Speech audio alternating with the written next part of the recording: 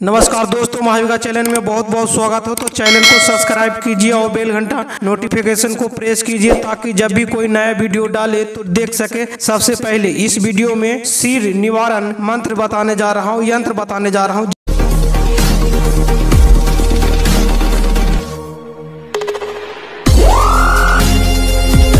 Hello friends मैं धर्मेंद्र, आप लोग का एक ऐसे सिर निवारण यंत्र बताने जा रहा हूँ, जिससे आप किसी को, भाइयों, बहनों को सिर में दर्द हो रहा है तो इस यंत्र को प्रयोग करें और ज़्यादा से ज़्यादा लाभ असर करेगा। किसी व्यक्तियों को ज़्यादा दिन से हो रहा है, जल्दी ठीक नहीं है, दवा खाते खाते थक गए हैं तो इस यंत्र का प्रयोग करें, इस ताबीज का प्रयोग करें तो इस यंत्र को लिखने के मैं विधि बता रहा हूँ तो वीडियो को लास्ट तक देखना और वीडियो पसंद आएगा तो लाइक कर देना, सब्सक्राइब कर देना।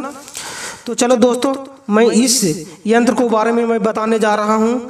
जिन भाइयों बहनों को ये हो रहा है, दवा खाते खाते थक गए हैं तो दवा खाते रहें और इस यंत्र को भी प्रयोग करें तो तुरंत आराम मिल जाएगा, सिर दर्द दूर हो जा, हो जाएगा। दोस्तों, इस यंत्र को लिखना है केसर के सियाई से। केसर ले लेना है, कहीं भी दुकान में मिल जाएगा, केसर के सियाई से ले लेना है और केसर के सियाई से लिखकर भोजपत्तर पर भोजपत्तर पर और लिखकर उसको पूजा पाठ करें और गूगल की धुनी देकर नीले नीले सूत में गले में धारण करने पर हर प्रकार का आधा सिर का दर्द दूर हो जाता है।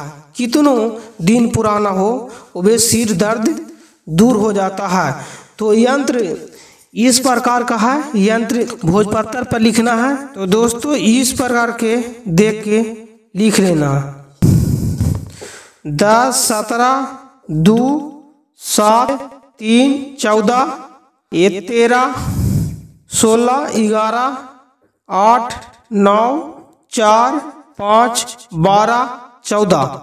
दोस्तों, इसी प्रकार का हिंदी में लिखना है और हिंदी में लिखकर इस यंत्र को गले में धारण कर लेंगे तो सारे प्रकार को सिर दर्द दूर हो जाएगा। दोस्तों, इसके लिए एक मंत्र भी है तो अगले वीडियो में इसका मंत्र बताऊँगा। तो इस वीडियो लंबा हो जाएगा, इस वीडियो में प्रोसेबल नहीं है तो वीडियो ज़्यादा लंबा हो जाएगा।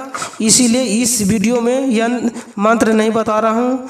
तो नेक्स्ट वीडियो में लेके आऊँगा, उसमें सिर द मंत्र बताऊँगा, जो मंत्र पढ़ के आप झाड़ के वे ठीक कर सकते हैं। तो वीडियो पसंद आएगा तो लाइक कर देना, सब्सक्राइब कर देना, और ज़्यादा से ज़्यादा लोग तक शेयर करना। धन्यवाद।